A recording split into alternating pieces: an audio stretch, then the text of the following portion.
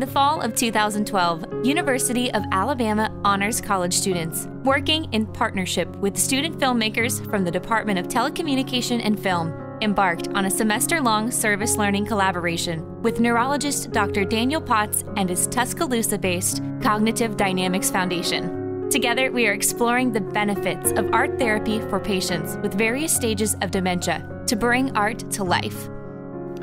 Art to Life is uh, a service learning opportunity for honor students at the University of Alabama. Art to Life was conceived from our experience with my dad, who became an artist after the diagnosis of Alzheimer's disease because of art therapy. So, seeing what that did for him, we started a foundation called Cognitive Dynamics to bring these therapies to others like him. Out of that foundation, and in partnership with the University of Alabama Honors College, we established Art to Life, which is a service learning course which exposes students to the benefits of uh, art therapy for those with Alzheimer's disease and other dementias, and also helps to preserve the life stories of those individuals afflicted with that disease. In the beginning of the semester, students experienced a dementia simulation exercise, which gave them a better understanding of what living with the condition is like. The dementia simulation was actually terrifying. Like, it was like a haunted house, is really what I felt like, because I didn't realize that it, it affected everything. We try to give the students as good a, an idea po as possible about what patients and caregivers go through. I, I think this is an important way to do that because we can teach and we can talk about it, but for them to actually, with all of their senses, begin to feel what it's like, I think is very important so that they can walk in their shoes, walk a mile in their shoes, so to speak.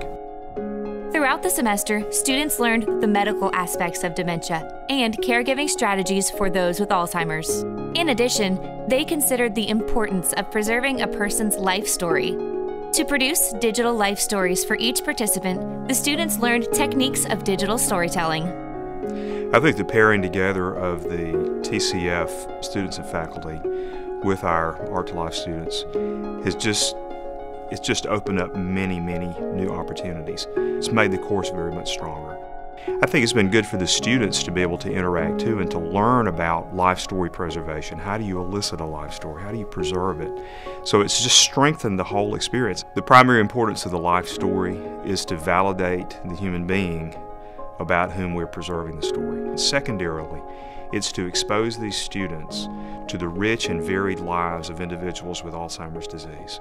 I think it's important. I think for the university to offer a course like that, it's important. I think for the students in the honors class, they, you know, they get a great experience to work with us, and we get a great experience working with new people that are new to the subject. And when we're working together, everybody's learning, and so it's just, it's cool. One thing leads to the next.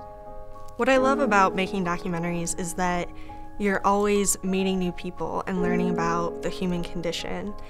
And I have absolutely loved going to art therapy, meeting the participants and their families. I think that's probably one of the things that I'm going to love most from my experience at the university.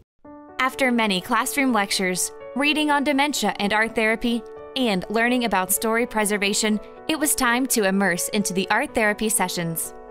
Art really is the universal language.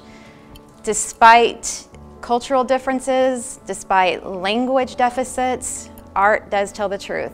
It comes out, you will see it, it's amazing. Art links caregivers and families and the community, which is what you're going to be doing. You are a very intricate piece of this. So why use art, especially with this? Art has a therapeutic value in medicine and research and well-being. Art tells a story about the artist.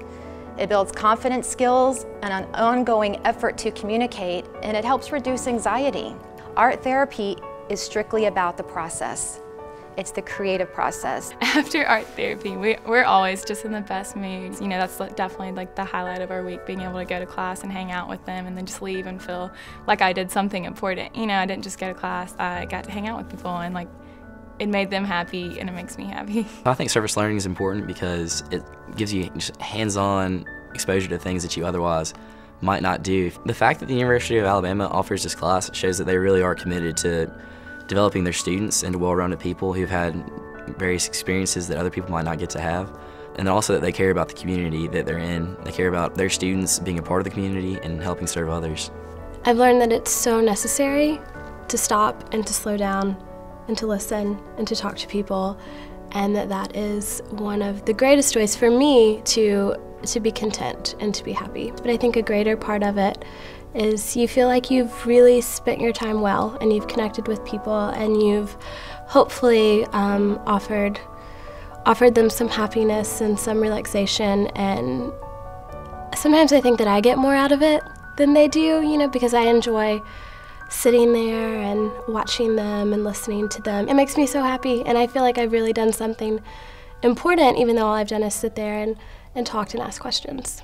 I think it's wonderful that the university is open to alternative means of therapy and healing. And I find that in the medical field, they really are open to this. And I think Dr. Potts bringing this uh, in conjunction with the university is really exciting. I think it helps students to understand that there is a person behind the disease and that we need to remember that. I've grown so much in this program. I came from my own dad's death and experience uh, with a passion and a desire to do something for somebody else like somebody did for him.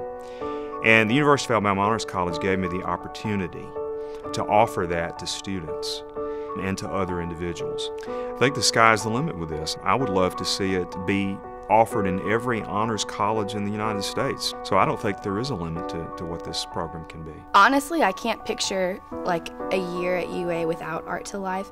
It's been so incredible and it meets so many of my interests. Working with this population has been so enlightening and inspiring to me and, and I love I love being with them. I think it's fantastic and I hope that it expands and I think that it's one of the most valuable experiences that I've had so far in my college career.